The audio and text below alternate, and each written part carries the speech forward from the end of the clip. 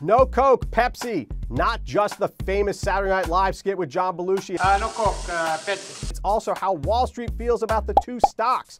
Pepsi up in early trading Thursday, and it's outperforming Coke year to date. A look at Pepsi's latest earnings clearly shows why. Strong results from Latin America and Asia, so much for concerns about slowing growth in the global economy. Pepsi also has a snacks business that is doing well. That might be another reason why it's outperforming Coke, because Pepsi has more diversity. It's not relying as much on the slowing growth beverage business. Let's be honest, a lot of people aren't drinking as many high calorie, sugary beverages anymore. That's why we've got the new soda wars. Pepsi and Coke with these ridiculous green cans for their stevia laced sodas. I don't know about you, I'm a Breaking Bad fan, so spoiler alert for those of you who haven't watched it, I'd stay away from the stevia. And that's the buzz. I'm Paul La Monica at LaMonica Buzz on Twitter.